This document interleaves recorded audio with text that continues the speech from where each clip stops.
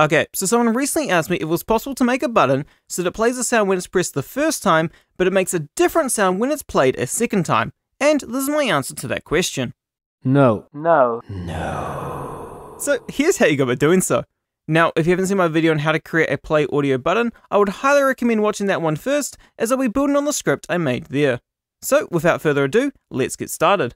To start, we're going to click on our button and open up its Udon behavior graph. Now that we're in the graph, we can see what we had before.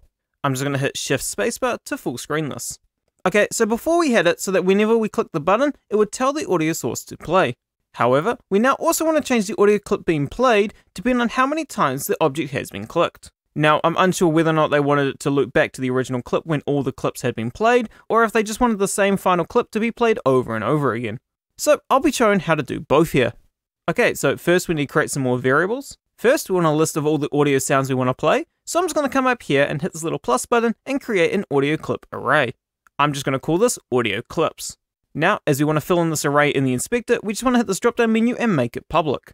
Now, the second thing we need is an int value to say what clips we want to play. So I'm just going to hit this plus button again and create an int. I'm just going to call this counter. So now that we have all our variables, the first thing we want to do is tell what clip we want to play when we click the button. So from this interact node, before it gets told to play the audio clip, we want to update the clip it is to play. So before it plays the audio source play node, I'm going to right click, create node, the shortcut for this is spacebar, and create an audio source set clip node, and I'm going to plug that in front of the audio source play node. I'm then going to put our target audio source into the instance slot.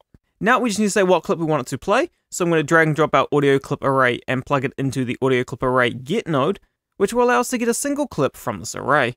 I then want to drag and drop our counter int and plug that into the get node to say what clip we want it to grab. I'm then going to plug the resulting audio clip into our audio source set clip node. So now, whenever we click the button, it will come down here and grab the audio clip that is in the slot defined by our counter. It will then grab that audio clip and tell our audio source to use that clip, before it then tells the audio source to play this new clip. So we can now change what clip we are playing depending on what this counter is. But we still need to increase this counter, so the next time it plays, it will play a different audio clip. So to do that, I'm going to grab my counter variable, I'm going to drag and drop it into the graph while holding down control to get a node that will set it and then I'm going to plug our audio source play node's arrow into the set counter node so that it plays afterwards. I'm then going to grab our counter, I'm going to drag and drop it into an int addition node and add 1 to our counter. Okay, but now we need to check to make sure that the counter value isn't larger than the audio clip array or the script will crash once we go through all the audio clips. So now this is where the different objectives mentioned earlier apply as the methods will be slightly different depending. If we just want to clamp the value and make it repeatedly play the last clip, we can use a mathf clamp node. We just want to pass our int into the value slot, leave the minimum slot at 0, and as for our max value, we just want to use an audio clip array get length node to get the length of our array.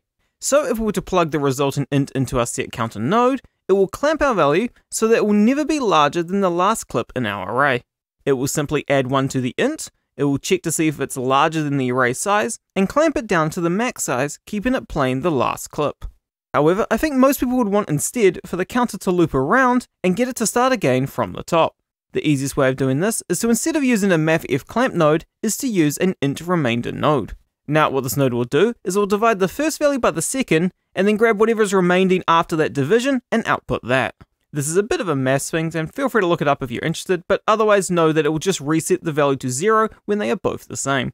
Lastly, if you just wanted a random clip out of the ones available, we can simply use a random range node instead. Set our minimum to zero, and have our maximum be the length of the array. Awesome! Now, I personally prefer the second method of clamping, so I'm going to use that one. So now this should work. As always, we just want to come up here and hit compile. We then want to hit shift spacebar again to stop full screening, and come back into our scene view. Now that we're back in the scene view, we want to come over to our Udon behavior and come over to audio clips and hit this little drop down menu. We then want to increase the size of the array to be the same size as the amount of clips that we want to play. Then we just want to drag and drop all our audio clips into their respective slots. Slight word of caution however, but this script will crash if not all the slots are filled in. Okay, so now it's time to playtest. Now that we're in the world, we can see that each time we click the button, No, it plays no, the next audio no. clip. No. If we were to no. click enough times, we can also hear it looping around back to the first clip. Awesome! Now, as a side note, as I'm sure people will ask, if you want to add an animation to this, simply open up your Udon graph again. After all the other logic, just add an animation set trigger node, You will then need to create a public animator variable and plug that into the instance slot, change it from int to string and add the name of the trigger. Then you just want to compile this and come back into the scene view, give it your animator, and you should be good. Just make sure the animator is set up correctly. As for how it should be set up, have a look at my how to play an animation in Udon tutorial, as it would be more or less the same as that. So, hope you found this helpful. Feel free to leave a like if you liked it, leave a comment down below if you've got any questions, and feel free to check out some of my other tutorials that I have on the channel. But until next time, bye!